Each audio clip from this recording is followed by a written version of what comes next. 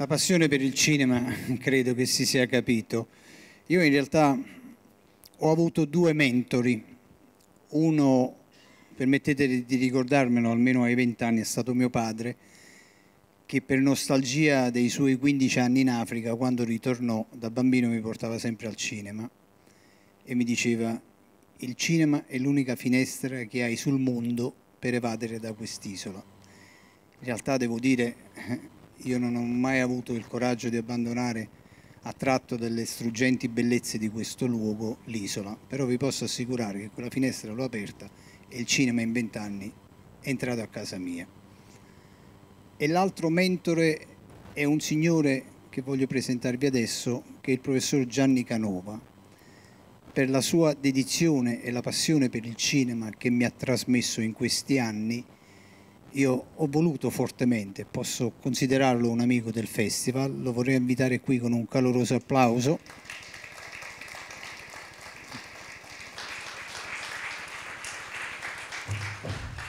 Posso dire amico, posso dire amico perché è così, ognuno ha i suoi punti di riferimento, questi sono i miei due punti di riferimento massimo rispetto anche per gli altri critici cinematografici che collaborano con noi, che abbiamo da anni, però io ho queste mie eh, due visioni. Gianni, io ti ringrazio di essere parte di questo, di questo festival e ehm, vorrei insieme a Gianni Canova qui con noi l'onorevole Pina Picerno, che è la vicepresidente del Parlamento europeo, che questa sera ci onora della sua presenza, ringraziando anche il Parlamento europeo che da diversi anni ci concede il patrocinio morale proprio per eh, comprendere un po' insomma, il punto di vista anche dell'Unione Europea per l'appunto proprio su questi scenari di guerra, questa sezione non competitiva che vogliamo riflettere insomma, sul danno che la guerra può creare attraverso chiaramente l'audiovisivo all'essere umano, agli ambienti e a tutto il resto, i quali ci introdurranno per l'appunto uno il primo dei tre film in selezione che è in Donbass. Prego, a voi. Grazie, grazie, grazie. Michelangelo, davvero, grazie.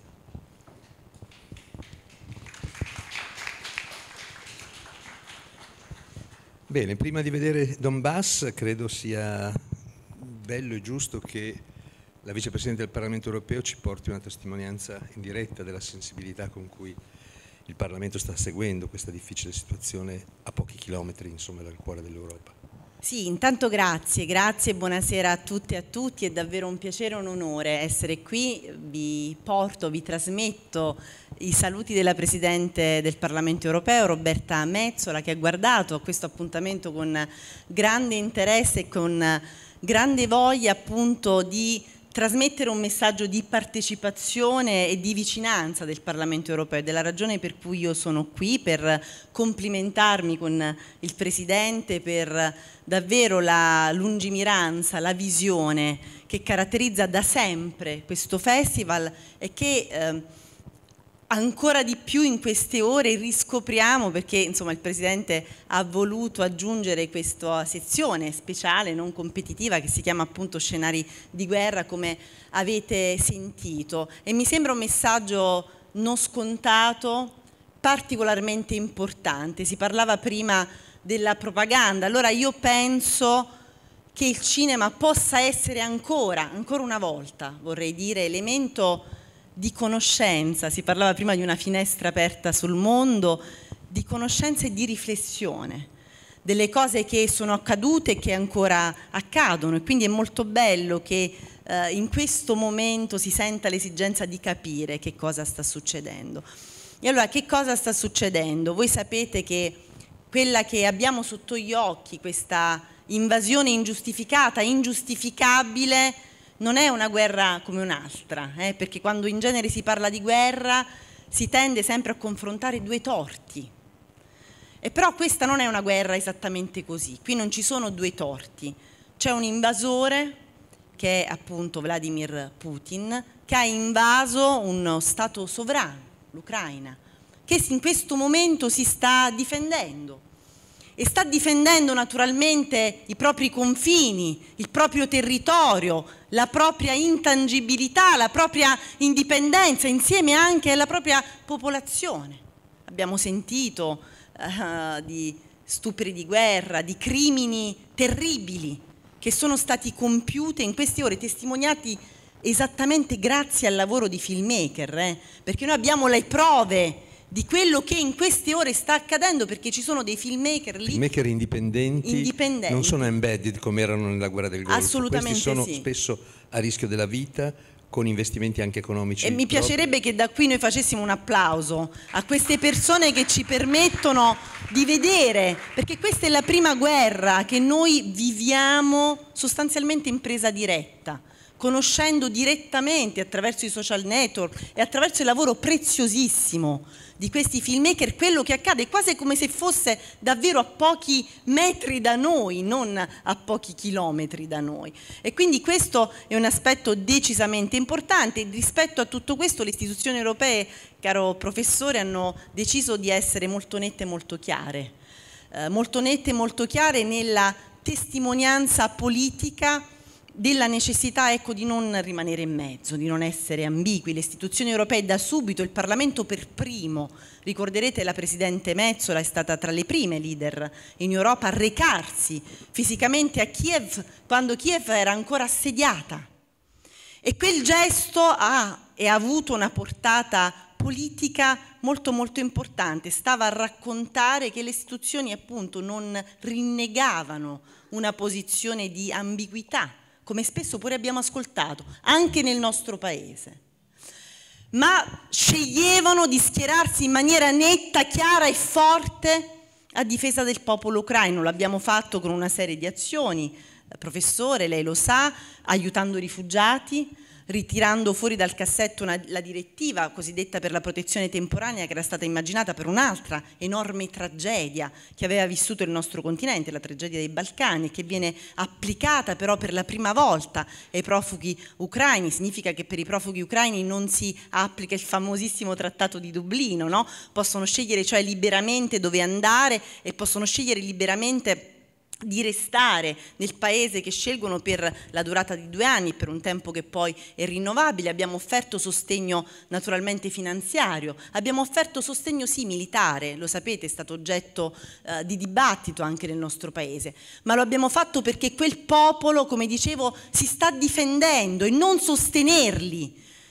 attraverso tutte queste azioni significava appunto consegnarli alla sconfitta certa, alla sconfitta sicura. E allora noi in questo tempo non possiamo accettare che i confini geografici di uno Stato sovrano possano essere modificati attraverso l'utilizzo dei carri armati. È inaccettabile e sarebbe un precedente molto pericoloso. Ecco perché noi pensiamo che l'Ucraina sta certamente lottando e combattendo per difendere i propri confini, il proprio popolo, ma sta lottando e combattendo per difendere anche le regole che insieme ci siamo dati, anche i valori che noi insieme abbiamo creduto quando abbiamo fondato le nostre democrazie occidentali. E allora questo è il punto ed è la ragione per cui, e arrivo, chiudo, poi insomma non so se ci saranno altre domande, è la ragione per cui noi abbiamo voluto, è la notizia di pochi giorni fa, riconoscere all'Ucraina lo status di paese candidato all'interno dell'Unione Europea. È stata una scelta importante, anche questa non scontata, in genere il riconoscimento avviene dopo molti anni, professore. E invece qui noi abbiamo voluto riconoscere l'eccezionalità di questa situazione, la Commissione ha lavorato in maniera molto rapida per riconoscere questo uh, status che era stato richiesto dal presidente Zelensky e dal popolo ucraino in maniera molto decisa e molto forte. Allora noi abbiamo pensato che la richiesta di quel popolo che guarda l'Europa e che guarda tutti noi come un'isola a cui approdare, mentre intorno in furia la tempesta non poteva rimanere nella pila delle richieste che attendono l'istruttoria. Ci sono dei momenti in cui la storia bussa alla porta delle nostre democrazie sono quelli i momenti in cui è necessario coraggio, è necessario visione, è necessario rispondere in maniera chiara. L'Europa, le istituzioni europee l'hanno fatto e lo fate anche un pezzettino voi stasera, aprendo questa discussione che è così importante e così necessaria. Io per questo vi ringrazio molto davvero. Grazie, grazie per questa testimonianza appassionata e per questo richiamo anche al cinema come strumento di conoscenza eh, e anche la memoria che il cinema, ci, mentre parlava mi veniva in mente eh, quel film straordinario che è L'ora più buia, che ci ricorda come in una situazione analoga con un paese che invadeva la Polonia la Francia con altri carri armati e andava a dire a Churchill non, non, l'Inghilterra, il Regno Unito non ci interessa, state fuori. Mm, eh, e Churchill invece decide di combattere, di entrare in guerra, di cambiare, nell'ora più buia si assume per combattere in nome dei valori che eh, l'onorevole Picer adesso ci, ci, ricordava. Allora adesso noi stiamo per vedere un film, eh, credo, eh, quasi mm, doveroso, nel senso che è un film, si intitola Donbass, già il titolo è, è un programma, ed è stato girato a partire dal 2014-2015, poi è andato al Festival di Cannes dove ha vinto il primo premio alla sezione Un certain regard del 2018. Quindi non è un film sull'oggi. E questo è molto interessante perché è un film, prima di tutto, sulla follia della guerra, di ogni guerra, e secondariamente perché è un film che ci dice che là, nel Donbass, già da un po' di tempo c'era un inferno, anche se tutti noi, tutti, compresi i nostri media occidentali, facevamo finta di non vederlo. Di non vederlo. Questo film ce lo fa vedere e ci fa vedere ciò che là accadeva già 5, 6, 7 anni fa, eh, con una potenza che a me ricorda un quadro di Bruegel, perché un, viene fuori un mondo in cui tutti sono in lotta contro tutti e in cui l'umanità tira fuori il suo aspetto più spietato, più feroce, più stupido, più ottuso. Eh, non è un film di propaganda, non è un film a tesi, è un film che racconta la follia della guerra oscillando fra due registri, il grottesco e il tragico. Da un lato c'è il grottesco, lo vedrete, sono 13 episodi, apparentemente senza un filo conduttore che li leghi se non questa dimensione appunto della follia della guerra. Alcuni episodi sono grotteschi, c'è per esempio l'episodio, lo vedrete, del primo matrimonio celebrato con il rito della Nova Russia, con gli sposi che sem- sghignanti, sghignazzanti, sembrano usciti da un film di Fellini, eh, in una scena che è quasi al limite del kitsch deformante. E poi però c'è il versante tragico, che è quello che vedrete nell'episodio del, ehm, del simpatizzante filo, filo ucraino, antirusso, che viene legato a un palo e insultato dalla folla finché una vecchia gli si avvicina, gli spiaccica un pomodoro in faccia. Oppure l'episodio più straziante, che è quello in cui una macchina da presa, lo vedrete, entra in un rifugio antiaereo comunale, sembra una topaia, non c'è luce, non c'è acqua, non c'è elettricità, i, i servizi pubblici sono intasati di escrementi, dai tubi colano liquidi eh, eh, disgustosi solo a vedersi, c'è puzza, c'è umido, c'è freddo, gli esseri umani sono lì fermi, seduti dentro coperte e a un certo punto qualcuno dice sembra di essere tornati all'età della pietra. È un po' la, un po la profezia di Einstein no? che, eh, che risuona dicendo se ci sarà un'altra guerra sarà veramente una regressione dell'umanità. E allora credo che il modo migliore di vedere questo film sia proprio quello di interrogarci su questa assoluta follia e, lo ricordava prima Ronald Seiko, sulla capacità che le immagini hanno di testimoniare la verità e anche la sua scomparsa, perché, perché spesso la prima vittima della guerra è la verità, spesso le guerre si vincono anche con le fake news, ma da sempre. La più grande guerra dell'antichità, la guerra di Troia, secondo me è stata vinta con una fake news. Il cavallo di Troia era, era una, una, falsa notizia, era, non era un dono agli dei, ma era una, uno strumento di distruzione di massa, per usare quindi è ovvio che le fake news ci sono e vedrete come il film inizia e finisce mettendo in scena la, dire, un, una, un, un episodio in cui la realtà collassa dentro la finzione o forse la finzione ridisegna la realtà nella costruzione di una notizia falsa. Le fake news sono uno degli elementi, credo, eh, sul teatro di questa guerra. Eh, e forse su questo può aggiungere anche nel nostro paese, dove come dire, le notizie spesso vengono sparate, sono, c'è anche una responsabilità degli organi di mezzi di comunicazione di massa che pur di far aumentare lo share fanno parlare chi le spara più grosse senza avere la possibilità di accertare le fonti di quello che viene detto. Ma il film che state per vedere ci ricorda anche questo. No, io la ringrazio molto, professore, per aver voluto precisare Uh, le cose che ha appena detto perché non è scontato, Noi, um, non è scontato in particolare nel nostro paese, lei ricordava l'eccezionalità no, della situazione italiana che io confermo avendo una eh, osservatorio che è quello appunto dei, dei, parlamenti e dei paesi, degli stati membri dell'Unione Europea, da nessuna parte, fatemelo dire con un pizzico di amarezza e questo sottolinea ancora una volta l'importanza invece dell'operazione che compiamo stasera. In nessun paese d'Europa noi abbiamo un dibattito pubblico che è simile a quello italiano, dove fin dall'inizio si è spacciata come libertà di stampa l'idea di confondere e di ospitare entrambe le posizioni, quella di chi fa un torto e quello di chi eh, subisce quel torto. Allora, quella non è libertà di informazione, quella è eh, disinformazione. E allora bisogna stare molto attenti perché lei parlava dell'utilizzo della propaganda come uno dei piani di questo conflitto ed è molto vero perché questo è un conflitto che si gioca sicuramente sul livello militare, come è evidente sotto gli occhi di tutti, ma sempre di più i conflitti sono fatti di tante cose. Eh, si parla, lo avrete sentito, della cosiddetta guerra ibrida, no? eh, che è fatta di tanti elementi, attacchi eh, cyber, ma anche e soprattutto di fusione di uh, fake news, di disinformazione, questa roba avviene non da oggi, avviene da moltissimo tempo e da moltissimi anni che la Russia uh, di Vladimir Putin prova a destabilizzare il nostro ordine politico, parlo appunto di quello europeo, attraverso l'utilizzo di fake news e attraverso l'utilizzo della disinformazione. Lo ha fatto uh, a più livelli, lo ha fatto tentando di influenzare per esempio alcune elezioni politiche, le elezioni europee, non ci è riuscito fino in fondo, fino a questo momento, ma è un elemento molto molto significativo a cui bisogna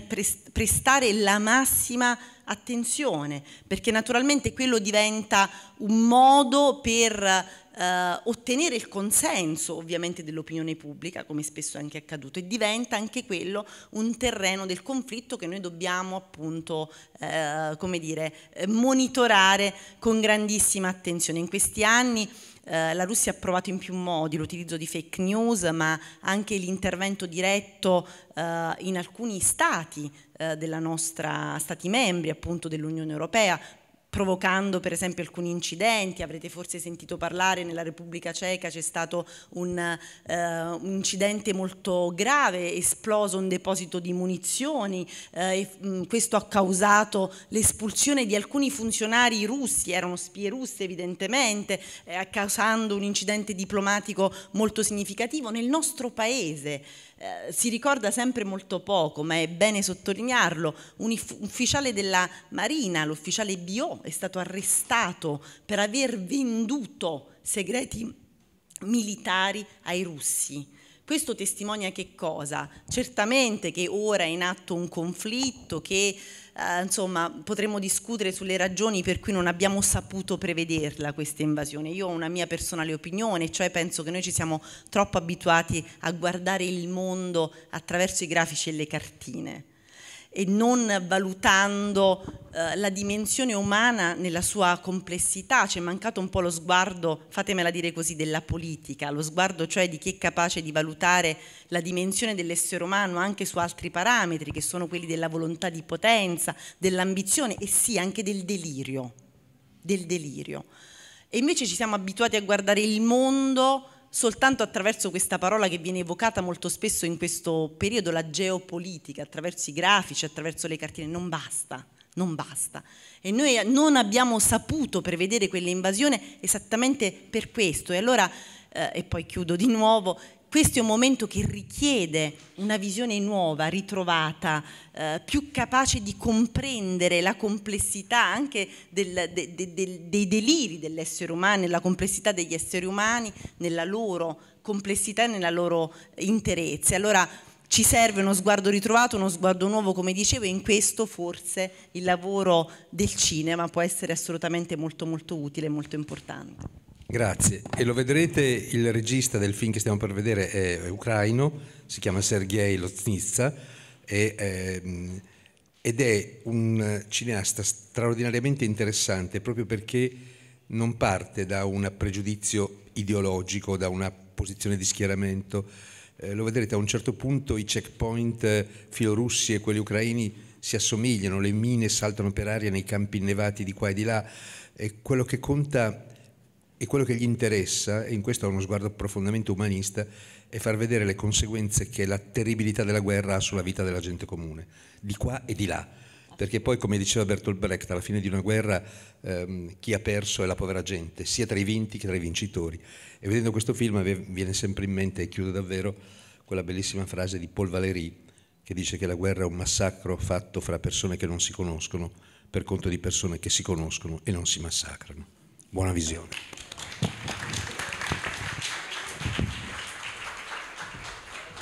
Pregherei un attimo eh, l'onorevole Pina di, qui con noi. Claudia, noi vorremmo omaggiare il Parlamento europeo con un'opera dell'artista ischitano Felice Meo, che è il nostro simbolo, che è il Castello Aragonese. Eh, l'artista, eh, tutte le sue opere che sono uniche, le fa da ferro riciclato, perché anche questo è importante, il riciclo soprattutto come eh, messaggio. Questo è il simbolo del Castello Aragonese di questo festival che noi omaggiamo al, all'Unione Europea. Grazie. Portavoce lei. Grazie, grazie onorevole Picerno ufficio della Presidente Mezzola che ne sarà assolutamente felicissima e vi ringrazio davvero molto per la vostra sensibilità, per la vostra attenzione e lo ripeto ancora una volta per la vostra visione. È qualcosa di non scontato ed è davvero molto molto importante. Grazie. Bene, grazie a entrambi, grazie Gianni. Buona visione di Donbass.